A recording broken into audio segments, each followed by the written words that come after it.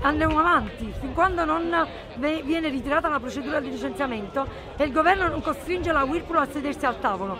Andremo avanti a combattere contro questa ingiustizia. Si sta chiudendo un'azienda che non è in crisi, anzi che ancora continua a dire di, ehm, eh, di fare profitto e, e se il governo permette a queste aziende, a maggior ragione che non sono in crisi, di chiudere, domani che cosa farà l'Italia? Che futuro ci sarà per i nostri figli? Bisogna prendere Whirlpool, costringere al tavolo e costringerlo soprattutto al rispetto di quell'accordo. gente come noi non molla mai.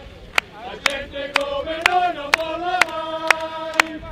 Napoli, Napoli, Napoli, no Colla! No Napoli! No Wilfu!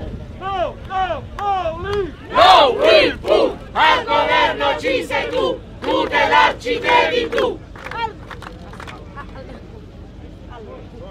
Noi vogliamo